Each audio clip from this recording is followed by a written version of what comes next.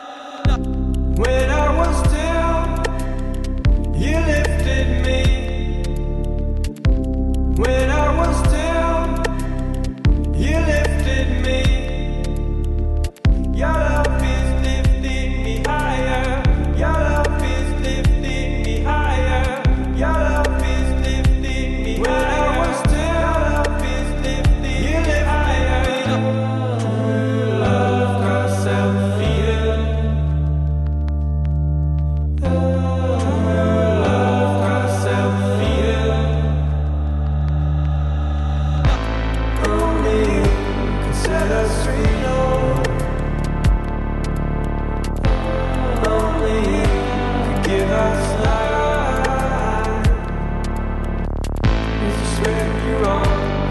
us know